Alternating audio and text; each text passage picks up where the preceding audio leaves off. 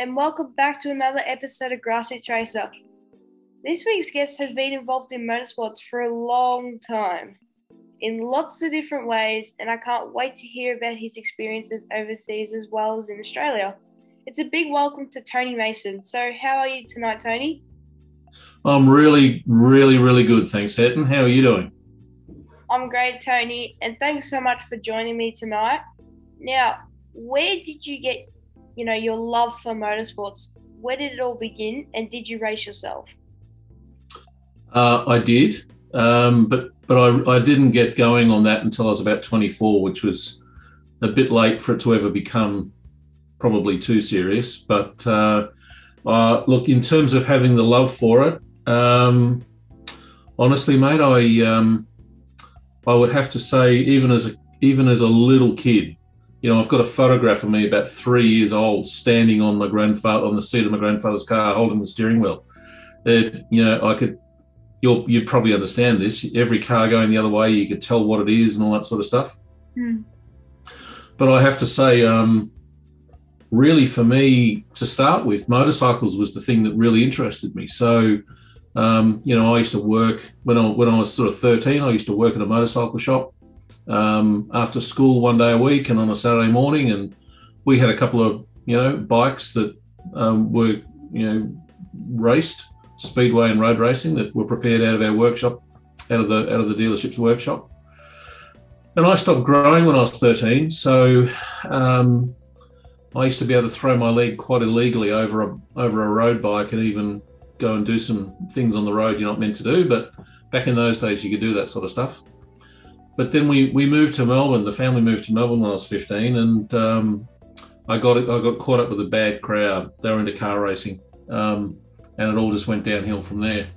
Um, so yeah, I, I, I um, I, I, can still remember if, if you watched the movie Rush, I would imagine you would have. Yeah.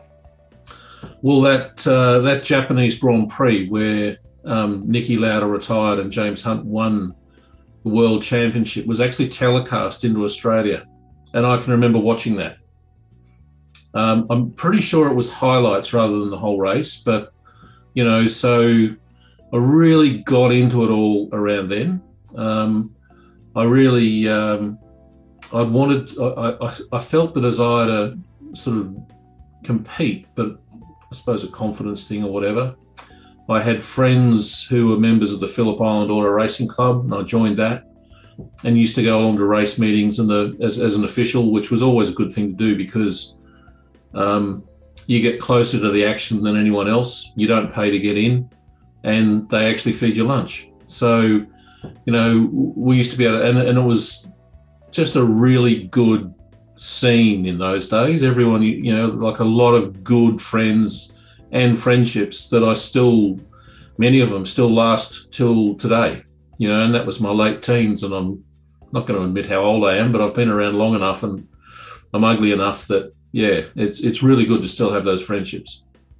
So, yeah, from a grassroots point of view, I can remember being down at Phillip Island and doing working bees and working on the track and helping build tyre walls that were there for a very long time. Um, but yeah, so that was so the officiating side of things was was good for particularly for big race meetings to be able to be part of those. Um, um, but I started. Uh, I was looking around for the right car to to compete in for a little while, and I, I bought a couple of different things that I thought might be right, but they just weren't and sold those. And I bought an Escort twin cam when I was, I don't know, 23, something like that. And um, spent a bit of time getting it. It was pretty good when I when I got it, but it needed to be needed a few things done to it to really make it suitable. And I and I started doing um, club sprints and hill climbs, and I, and I kind of the thing to me with grassroots level racing is it's a it's not about going out and trying to win everything, although the natural competitor in you does want to do that. But it's about improving yourself and challenging yourself. And uh, so my view was very much I just had what I had.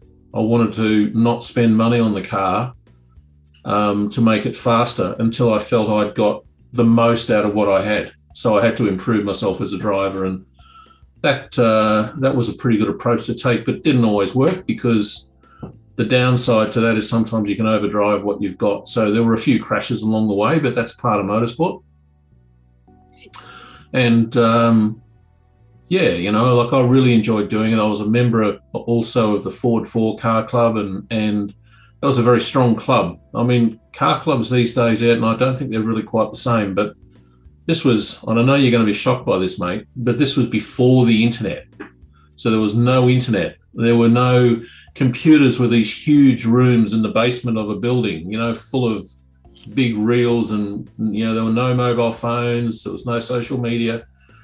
Um, so we used to go to a club meeting every every month um, to get together, and there'd be, I don't know, between 150, between 100, maybe 150 people would turn up to every club meeting, all with our cars, all shooting the breeze, and it was just a really good social fun time, and we go away and compete together as well. Yeah, so you've covered a lot there, Tony. Um, and just for those who don't know, Rush was a movie about James Hunt and Niki Lauda's uh, rivalry in Formula One. It's pretty good. I recommend watching it. So, you know, you said you sometimes bought different cars, jumped from different car to car. Um, I can admit, me and my dad have like had the same issue in a sense. Like we're trying to find the right car to race at the moment. Uh, we yep. picked up an Alfa Romeo race car, which hopefully you know is going to work out really well. But yep. grassroots level racing is really about going out having fun. Um, you did mention to me that you did some volunteering at the 1st mm-hmm. Adelaide Grand Prix. So have you got any yep. memories from that time? Yeah, well, the um, the the the Adelaide Grand Prix. Um, th- there were a number of different bodies and people worked on making that happen. It wasn't just people from South Australia. And um, one of the things we'd done here, actually here in Victoria, was we'd run the Australian Grand Prix, the local version of it, um, from 1980 through to 1984 at Calder, but we ran it to FIA regulations rather than the local CAMS regulations. And they're really very different in terms of how you run a race meeting.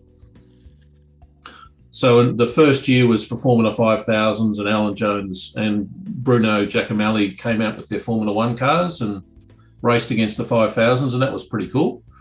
Uh, and then the following years, it was for Formula Pacific cars, which was what was racing as the top level of open wheeler racing in Australia.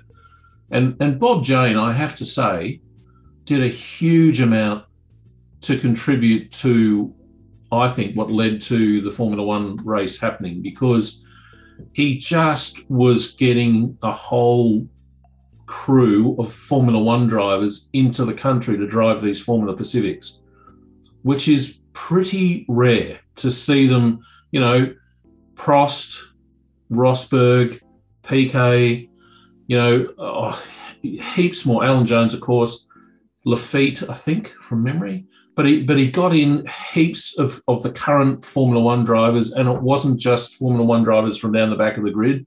These were right. These were people who were right up the front, very big names here in Australia, um, racing in Formula Pacific, and that was a big deal.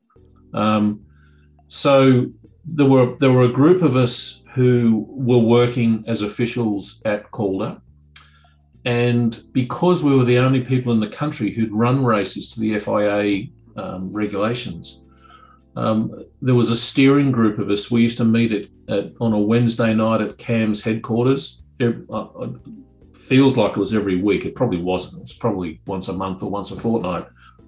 But we planned out everything in terms of how the, the Grand Prix was going to be run from an officiating point of view. And we were dealing with the South Australian Officials Association, um, and essentially saying, look, these are the things you need to do, um, which they did because they had no experience of running race meetings to the FIA uh, rules.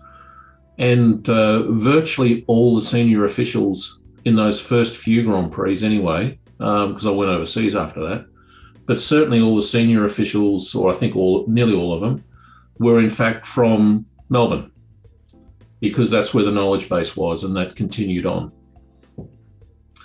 So yeah, that's kind of I was there in the I, I, you know part of what I did was run the the pit lane and the grid um, officials, and I was there working in pit lane and talking to um, team members from Formula One teams, and uh, that discussion naturally led to how to get a, a gig, and essentially they said you've got to be in England. You know, it's um, you've probably done enough that you could work your way to Formula One, but you've got to be in England. You won't ever get a job applying from Australia. Um, so that's another part of the story. But that was uh, it was incredible to be there for that first for that first uh, that first Grand Prix in '85, and and um, you know I have to say you know we we only started getting Grand Prix on TV here uh, I think it was 1980. I think it was the year that Alan Jones won the World Championship. We started getting them. Up until then, other than that Japanese race, you, you might get the odd uh, set of the BBC highlights, and that'd be it. But we started getting the races live in might have been might have been 81, but it was certainly around that point. So, and uh, they were very very strong rating. They were they were so popular. I think it was at one stage there, it was the most expensive airtime to buy for advertising if you wanted to get to a male market. And it was on at 11 o'clock at night on a Sunday. So it was a pretty big deal. So when it, when it happened, I can remember um, I was working and I, and I couldn't get into Adelaide until quite late, relatively. So I got in on Thursday morning. And um, so I missed just the start, the very start of the first day I remember getting in the taxi, getting in a taxi at the airport to get myself over to where the track was, and you could hear the cars from the airport really clearly, you know. Wow. Um, and it was honestly, it was one of those sort of goosebump moments. Um, having wanted to see them for real and work so hard and towards helping make it happen because hundreds of people were involved in thousands of people probably involved in making it happen so to be part of that group and to to actually hear them and then obviously see them for real was pretty incredible really it must have been incredible i i've been lucky enough to go to a formula one grand prix i went back in 2018 and um i wasn't quite lucky enough to hear the f1 cars driving around when i was pulling in but there were some ferraris going around so yep. that was pretty amazing but i remember yep. the v8 supercars at melbourne when they were downshifting, it was so loud. It was incredible. Yeah. Um, yeah. But so you said that you were speaking to some people in Formula One, and you said you had to, you know, be in England to sort of have a chance of getting into yep. a team. What? When did you sort of go? Okay, I'm going to go to England and I'm going to try and get to a Formula One team. Um, well, I was, I was, you know, as I, had been spending everything I, I earned on racing um, myself. Um, I'd, I'd, sold my car because I'd, i had an intention of getting a, a little open wheeler, um, little Formula Ford. Um, I had a sponsor who had to pull the pin, and I was left a bit high and dry, and, and so I'd, I'd, stopped racing um, and was at a bit of a crossroads with it and I'd uh, I was working in the automotive industry, and and, and um, I'd left. I was working for Mercedes Benz at factory level in uh, at head office, and I wanted to get retail experience. So I was um, selling cars at Ken Morgan Toyota, and, and I'd done that and knew I could sell them. And I was thinking, okay, what I was at a bit of a crossroads with my career as well.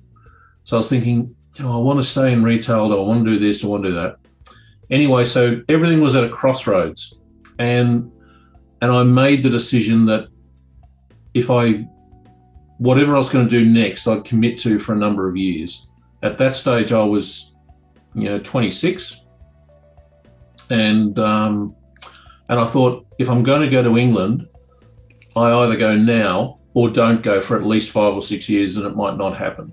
Um, so I decided to go to England. Um, I'm fortunate in that my dad's from over there. Um, uh, you know, like essentially, I'm a Shetland Islander from back from a background point of view on my dad's side. So I was born over there. Uh, came came to Australia when I was like two years old. My mum's from here, Um, so I had I could have a British passport and could come and go as often as I liked. Whereas a lot of Australians, you know, you've got to get a visa and you can only be there for two years, and, and unless your employer lets you, you know, fills out different documents for you to stay longer. So I could just go. So I got a one-way ticket and I went to went to England. And I thought, look, I'll have a crack at this, and if it doesn't work out, I'll just have a holiday and then I'll come home. So um, that's what I did, and um, I, I, I think the second day I was there, I applied for a job with Autosport magazine, and that's the Bible weekly magazine over there, Motorsport magazine and they wanted people to sell advertising in the back of the magazine and they were always advertising you know because it's just not a fun job. People do it and get burnt out. So I, I took on that job which meant that i earned a little bit from it but i also got to get my hands on the magazine a day before it hit the newsstands. So um, yeah I, I saw jobs advertised and one of them was with Ralt Cars so Ralt um, is was well, he's no longer with us, but was Ron Tauranac. So he was Jack Brabham's partner uh, and designer of the cars back in the, the, the Brabham days when Jack was you know, running the team. And Ron ended up owning the team and he sold it to Bernie Ecclestone.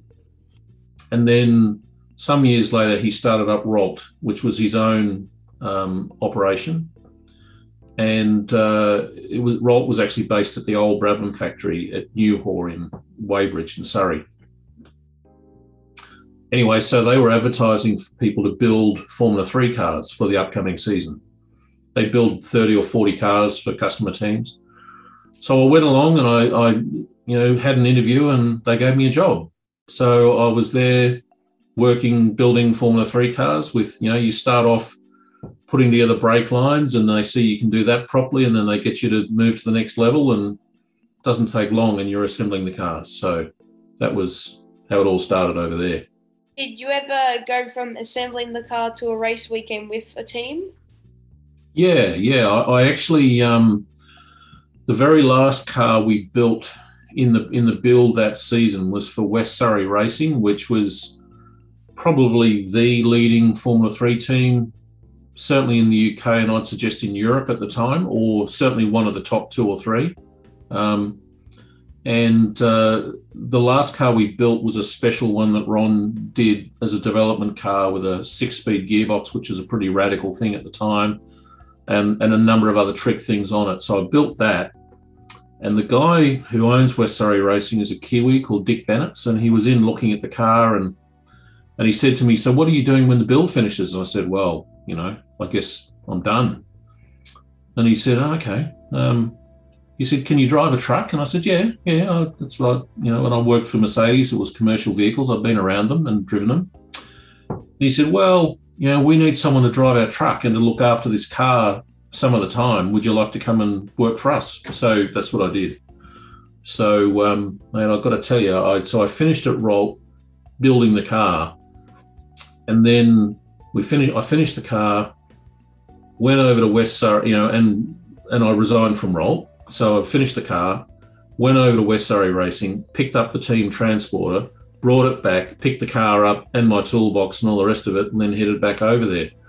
Um, and uh, I couldn't tell you what day of the week that was, but the following week we were testing at Silverstone, and I can remember standing on the pit wall at Silverstone, wearing all this red and white Marlboro World Championship team uniform because the team was sponsored by Marlboro, or one of the cars was, and um, watching this little Formula Three car zap around the track, having to sort of pinch myself to really believe that I was at Silverstone, and I hadn't ever been there before. Um, so I was at Silverstone on the other side of the world, and midweek testing, and I was getting paid, whereas you know, here in Australia, if I was going to go testing my car or help someone with theirs, I'd have to take a day off work.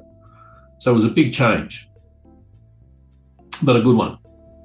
Definitely. So, did you in, enjoy the truck driving? Because I know truck driving can sometimes be a bit of a bit tiring because you're driving long hours. But did you enjoy the, always the end result of ending up at a, a new track or ending up at a famous track? Yeah, I've got to say it, and I mean it's if you want to really uh, look, it's the way they run the teams these days is very different. So, um, but but when I was doing it, we do what we do, we drove. You know, in my case, drove the truck. Um, but then when and did all the customs documentation and the stocking of the parts and eh, you know all the all the logistical stuff involved with you know having having everything the team needed. But then um, when you get to the track, um, you've got work. In this case, Formula Three. You know, this, this you know was the one who knew where what parts we had and where they were. Um, getting tyres fitted, and there was a whole palaver because they were cross ply tyres for Formula Three. So there was a whole palaver with pressuring them and measuring them and remeasuring and matching sets and all sorts of stuff. Um, fuel. So the days were um, filled you know, they were they were not out of control long days at the workshop, although they sometimes were. Um, but mostly we'd be sort of working pretty long days, but not not outrageous. So you do you know 11, 12 hours most days, 10 between 10 and 12, I suppose. But when we got busy, it'd be a lot more. Um, and of course, race weekend. So there'd be a lot of hours. But driving the truck around because the thing with driving a truck, which is easy to forget, is you're up so high, you see a lot of things that people driving cars don't see. And I've got to tell you, mate, it's a great way to see Europe. It's a great way to see the UK. Um, and um, I enjoyed it immensely. You know, it, it really was a great thing to do. Um, and uh, you know, we got into all sorts of tricky situations at times, you know, with um, not so much that year, but um, when I was doing Formula 3000, you know, we used to go and race at, um, at a track called Enna down in Sicily. And, um, you know, we had a couple of pretty interesting experiences with getting the getting the race transporters down to down to Sicily, and you know, taxes in inverted commas that little men with handguns want you to pay so you can even get on the ferry and because you know there's a fair bit of mafia uh, stuff goes on down there. Didn't always happen but it did happen. Um, so yeah there was all sorts of weird things and it just made it i gotta say it was work. We worked long hours um, but it was a big adventure as well. Yeah and after doing formula 3 for a while when did you sort of get your opportunity to, I'm guessing, move straight to Formula One, or? Uh, I did Formula 3000 first. So um, uh, it's a little bit of a long story, but essentially, and I'll try and keep it really short. Um, did Formula Three for one season. We came, we finished second in the British Formula Three Championship with Bertrand Gachot. Um, we also ran Roland Ratzenberger, who unfortunately was killed the day before your namesake, Ayrton Senna, uh, at Imola. Actually, there you go. That's, there's a photo of, of Roland right above my head as, as I'm talking. Um, so he was he was someone we all considered to be a good friend. I mean, we had really good times together. But but at the end of that year, we um, we tested a bunch of drivers, and Eddie, Eddie Irvine got the drive for the following year. Um, and uh, but at the start of the season, you know, we'd worked all winter. We had a pretty tough winter. We had a new truck that needed to be fitted out and I was pretty burnt out, I have to say. And and um, there was one of the guys on the team, a Kiwi guy, had had had left, um, and he was working for a Formula 3000 team, and he gave me a call because they needed someone who could drive the truck and work on the car a little bit and do a few other things. And he said, "Look, you know." Formula 3000, there's a lot less races than Formula 3. It's enjoyable. They're good people here. Come on, come and do it. And I did. So I left West Surrey Racing and I went and worked for a uh, a little one car Formula 3000 team. We didn't have a lot of money.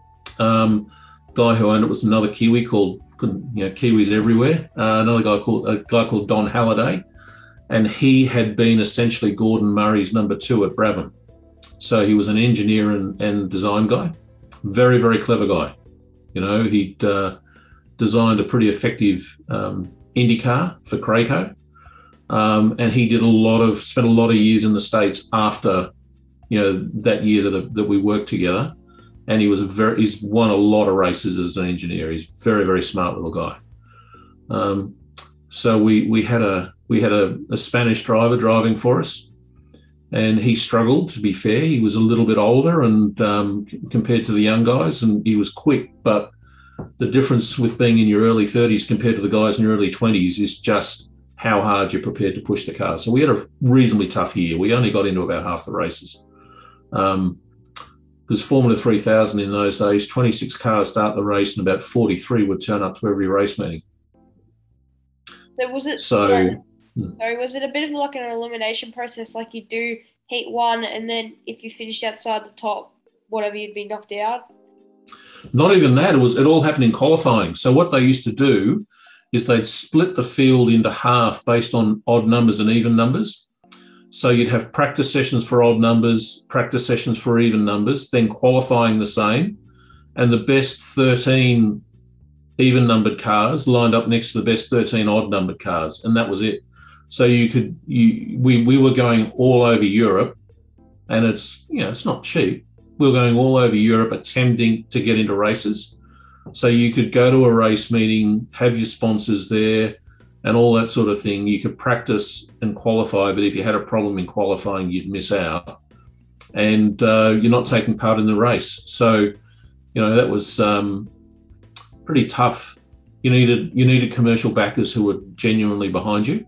Um, and you know we had that for our for our single driver. He was a you know, guy called Fermin Velez. He'd uh, he'd been very effective in sports cars, and he was after that. But he was, you know, he was Spain's I think first ever world champion. He was world C two uh, sports car champion, and um, he had a pretty good life. And I think at 33, I think he was at the time, um, compared to these guys who were 22, 23 in a high risk situation where there's a wall coming up, he would lift off and be smart, whereas they just didn't.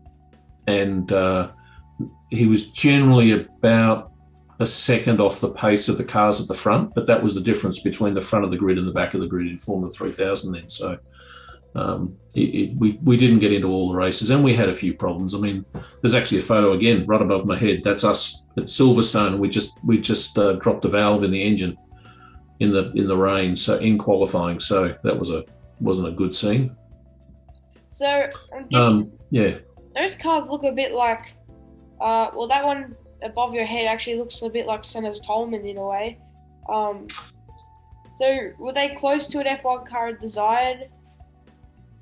Well, believe it or not, you'd, you'd think they would be because back then, uh, Formula 3000 cars, the, the quick cars were quick enough to get onto the back of the Formula One grid. So, you know, the, the qualifying times at the same circuits, you know, the leading cars in Formula 3000 would be around about P22 or something on the Formula One grid. So they were pretty quick. But when you actually look at them closely, they were more like a grown up Formula 3 car. So um, there was a really big jump in the design and the quality of materials and just the the detail between Formula 3000 and Formula 1 and and they certainly had a lot lot less wing and a lot less tire so um, you know when you so they a, a, a Formula 3000 car essentially was like a Formula 3 car with a slightly enlarged tub um, a 3 litre V8 bolted onto the back of it um, the wheels were wider than Formula 3, but again, closer to Formula 3 than the Formula 1 uh, at the time. And the wings, in reality, were really, there wasn't a lot of them. So they were a pretty challenging car to drive. Um, you needed to really hang it out there. It was a Formula 3 car had only about 150 horsepower. So you had much more grip and much more aero grip than you had power. So you had to drive within that and be very smooth. A Formula 3000 car was kind of the reverse. Um, didn't have a lot of grip, didn't have a lot of aero grip, but it had, uh, depending on who you listen to, they were around about four, somewhere between 450 and 500 horsepower, limited to 9,000 RPM, but they were proper racing engines, Cosworths and Mugens primarily, Judds as well. Um, and um, so you could very easily get them out of shape and hang them out and and essentially drift the cars. Obviously, you know that would affect your speed, but you could do that. So it was quite a different skill to drive them, and um, I think it's all part of the balance as you come up through different formula. You've got to have different skills each time, and you've got to master that. So by the time you get to Formula One, you've sort of mastered all of them, if that makes sense. Hey guys, thanks so much for watching that episode of Grassroots Racer. Now, unfortunately, that was only part one. So stay tuned for next Friday when we'll release part two of our chat to Tony. Now, guys, there was a lot there, but I'm telling you, Tony has a lot more to talk about in part two. So, guys, stay tuned and I'll see you then. Thank you.